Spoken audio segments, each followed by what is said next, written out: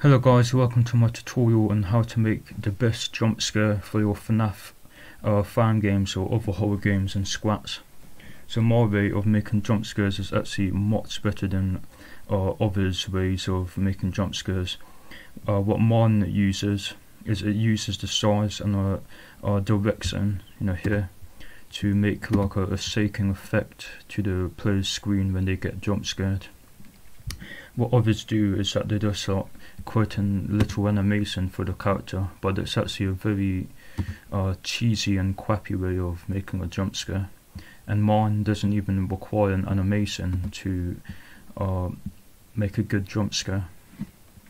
So first off, we need to obviously uh, create a sprite for our uh, jump scare. But in your FNAF fan games, you don't even need a separate sprite for your jump scare and uh, animatronics AI you can actually just have them in a, both in the same sprite because your uh, character's AI it's not going to need a, a, separate sprite if it's going to have a, a jump scare. Okay so first off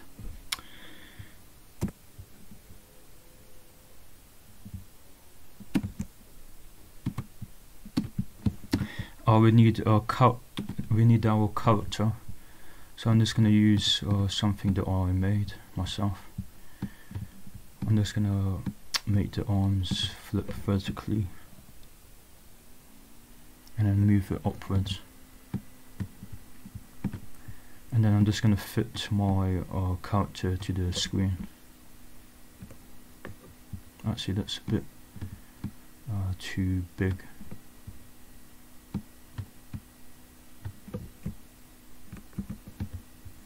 Said it's done. And then what you're actually going to need, uh, if you want your character to reach your size that Scratch won't allow you to get for your character, you're going to need something that's called a sizer. Basically what it does is that uh, so you switch your character's costume to the sizer and then you set the size to the size you want and then you switch it back to the your character's main costume. So it's a very clever way of uh, jailbreaking through Scratch's size limitation. Because if I were to do something like 500, it would only go up to 133. So with what with the sizer, I could set it to a size much bigger than that. Okay, so uh, I'm just going to use a when green flag clicked and then you're going to need to initialize your character's jump scare.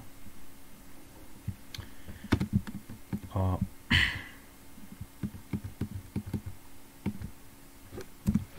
so then you'll need a sound for your character's jump scare obviously, otherwise it's going to be quiet and that's not going to be scary.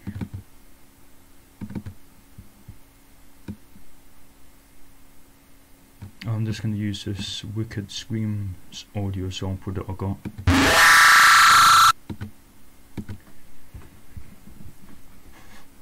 Okay, so...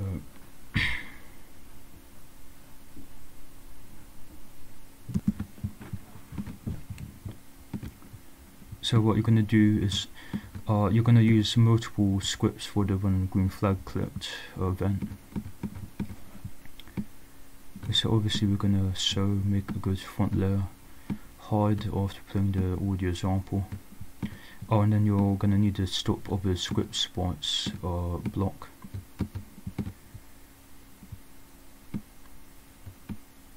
Okay so let's just test out perfect. So now for the direction uh, we are going to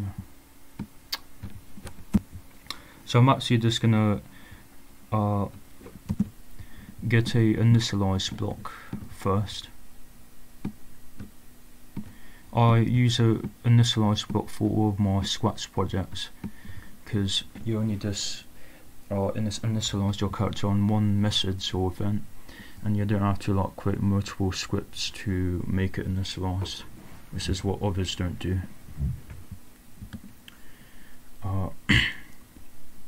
but as this is not a project I can just put it on this script here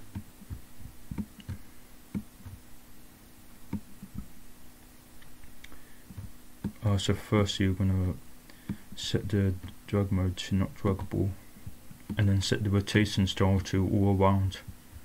Uh, and then oh yeah I especially forgot to set the volume. How wicked and despicable of me you know, so now we're done with that. Now uh, for our jump scare we are going to want to like move the character around. So like uh, we want to move it like that. So how we're going to do this is that we're going to use a loop. So uh, first off we're going to point in direction 90 alright how do I hide? Yeah that's it. And then uh,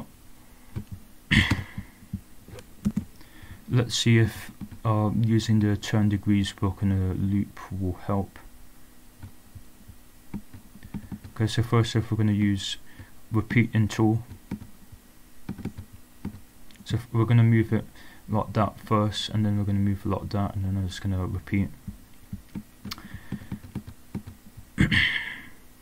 So we're going to use something like uh, we're gonna this is the limit of how much we're gonna want it to move to so we're gonna do 135 so if it's more than that it, it won't run so oh we have I suppose we forgot to put it in a forever block. And the forever loop will be stopped when this stop of other scripts and sprite block is called. So we don't have to worry about it uh, running forever because it's going to be stopped obviously Okay, so we just put the widths in there.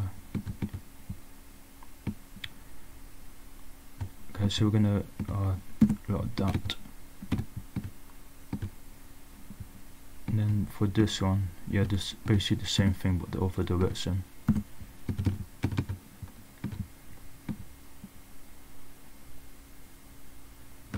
Yeah, I think uh, 41 is the right.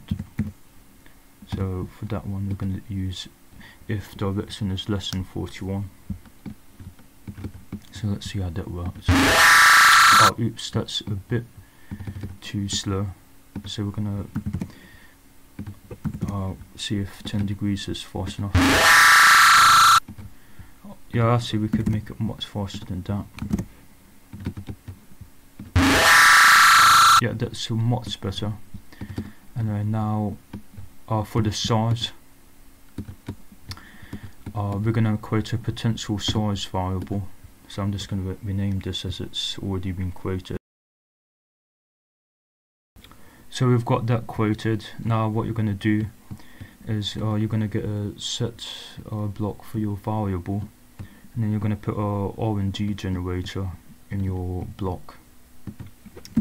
So we're going to uh, you can pick any range of size that you want for your uh, characters size and the jump scare. And then what you're gonna uh, we're gonna uh, leave this bit. So uh, we're gonna check for how big that it can go. So it can only go up to uh, size of 133 so we're gonna do if potential size it's larger than 133 then we're going to use the sizer and this is where the sizer comes handy. Then we're going to set the size to our potential size. And then switch the costume back to the your character's main costume. And then put our else uh, else block yeah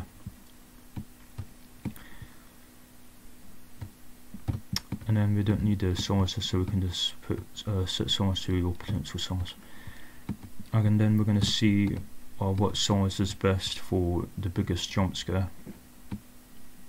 Uh, wait what am I doing?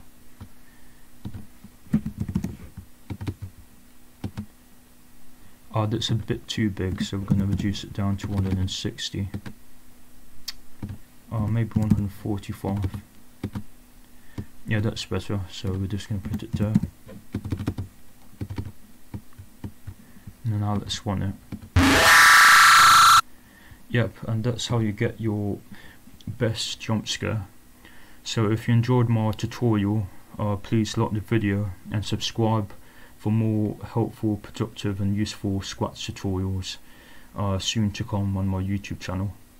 Uh, thanks for watching the video and I hope you have a great day.